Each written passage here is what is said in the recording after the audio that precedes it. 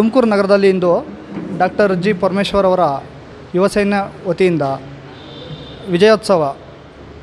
Doctor G Parameshwar ಅವರ ನಡೆಗೆ ವಿಜ, ವಿಜಯೋತ್ಸವದ ಕಡೆಗೆ ಎಂಬ ಕಾರ್ಯಕ್ರಮದ ಪೂರ್ವಭಾವಿ ಸಭೆಯನ್ನು ಹಮ್- ಹಮ್ಮಿಕೊಳ್ಳಲಾಗಿತ್ತು.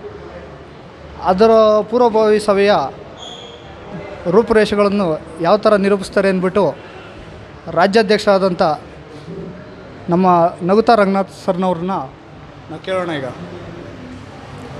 ಇದು ಅಖಿಲ ಕರ್ನಾಟಕ ಡಾಕ್ಟರ್ ಜಿ ಪರಮೇಶ್ವರ್ ಯುವ ಸೈನ್ಯ ಇಂದು ಸ್ಥಾಪನೆಯಾಗಿ ಒಂಬತ್ತನೇ ವರ್ಷ ಕಾಲಿಡ್ತಿದೆ.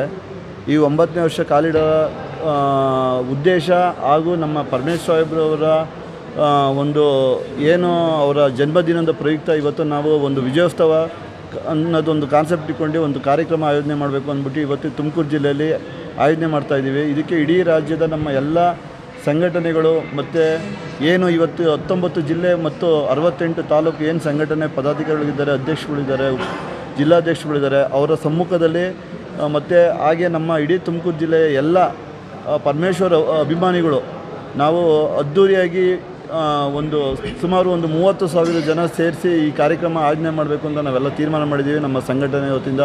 ಹಾಗೆ ನಮಗೆ ಹಿರಿಯರಾಗಿ ಮಾರ್ಗದರ್ಶಕರಾಗಿ ನನ್ನ ಜೊತೆ ನಮ್ಮ ಸಿದ್ದೇಶ್ ಸಾರು ಮತ್ತು ನಮ್ಮ ಗೌತಮ್ ಸರ್ ಅವರು ಇದ್ದಾರೆ. ಈ ಕಾರ್ಯಕ್ರಮ ಯಶಸ್ಸಾಗುತ್ತೆ ಅಂತ ನಾನು ಭಾವಿಸ್ತೀನಿ.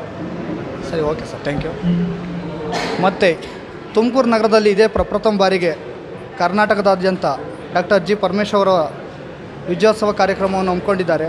ಅದ್ರ ಬಗ್ಗೆ ಗೌತಮ್ ಸರ್ನವರು ಒಂದು ಸರಿ ಮಾತಾಡ್ಸೋಣ. ಪರಮೇಶ್ವರ್ ವಿಜಯೋತ್ಸವದ ನಡೆ ಇತಿಹಾಸದ ಕಡೆ ಅಥವಾ ಚರಿತ್ರೆಯ ಕಡೆ ಅನ್ನೋದು ಬರೀ ಮಾತಿನಲ್ಲ ಈ ಪ್ರೋಗ್ರಾಮ್ ಆಗಲಿ, ಅದಾದಮೇಲೆ ಸತ್ಯವಾಗಲಿ ನೋಡಿ ಎಲ್ಲಿಗೆ ಹೋಗ್ತಾರೆ ಸಾಹೇಬರು ಅಂತ. ನಾನು ಹೇಳ್ದಂಗೆ ಅಂತಾರಾಷ್ಟ್ರೀಯ ಮಟ್ಟಕ್ಕೆ ಇದು ಪ್ರಖ್ಯಾತ ಆಗುವಂಥ ಅದ್ಭುತವಾದಂಥ ಇವೆಂಟ್ ಆರ್ಗನೈಸರ್ಸವ್ರನ್ನ ಕೈ ಜೋಡಿಸಿ ಮಾಡ್ತಾ ಇರ್ತಕ್ಕಂಥ ಕಾರ್ಯಕ್ರಮ. ಎಲ್ಲ ಥರ ಸುವ್ಯವಸ್ಥೆಗಳು, ಎಲ್ಲ ಥರದಂಥ ಜನಗಳ ಪರಿಗಣ ಒಂದು ಕಮಿಟಿ ಮಾಡಿ, ನಾವು ಎಲ್ಲ ಥರ ಒಂದು ಬರುವಂಥ ಜನಗಳಿಗೆ ಏನೇನು ಆಗುವಗಳಿದಾವೆ ಎಲ್ಲದನ್ನು ನೋಡಿ ಪ್ರತಿಯೊಂದು ಇದನ್ನು ನಾವು ಸಮರ್ಥರಾಗಿ ಮಾಡಿ, ಎಲ್ಲ ವಾಲಂಟಿಯರ್ಸ್ನಾಗಿ ಮಾಡಿ, ಒಂದು ಫೋರ್ಸ್ ಕ್ರಿಯೇಟ್ ಮಾಡಿ ಮಾಡ್ತಕ್ಕಂಥ ಕಾರ್ಯಕ್ರಮ ಇದು. ಇದಕ್ಕೆ ಎಲ್ಲರೂ ನಮ್ಮ ವತಿಯಿಂದ ಸಂಘಟನೆಯವರೆಲ್ಲ ಮುಂದೆ ನಿಂತಿದ್ದಾರೆ.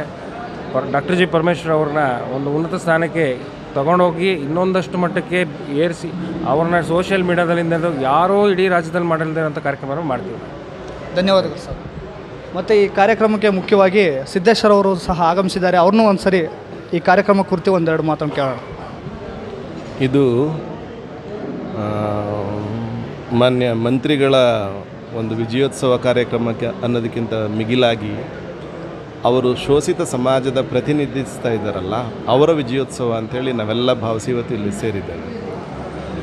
ಸಂಭ್ರಮ ಬೇರೆ ಬೇರೆ ಸಮಾಜಗಳು ಬೇರೆ ಬೇರೆ ರೂಪದಲ್ಲಿ, ಉದಾಹರಣೆಗೆ ಜಾತ್ರೆ ಮಾಡಿ ಸಂಭ್ರಮಿಸ್ತಾರೆ, ಮಠವನ್ನು ಕಟ್ಟಿ ಸಂಭ್ರಮಿಸ್ತಾರೆ, ನಮಗೆ ಯಾವ ಜಾತ್ರೆ ಹಿನ್ನೆಲೆ, ಮಠಗಳ ಹಿನ್ನೆಲೆ ಇಲ್ಲ.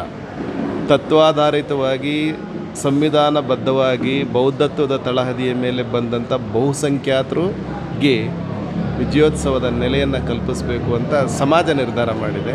ಅದರಲ್ಲಿ ನಾವೆಲ್ಲ ಕೂಡ ಕೈ ಜೋಡಿಸ್ತಾ ಇದ್ದೇವೆ. ಧನ್ಯವಾದಗಳು. ಕ್ಯಾಮ್ರಾಮ್ಯಾನ್ ಸುದರ್ಶನ್ ಜೊತೆ Ravi Jai Bhim news twenty four into seven.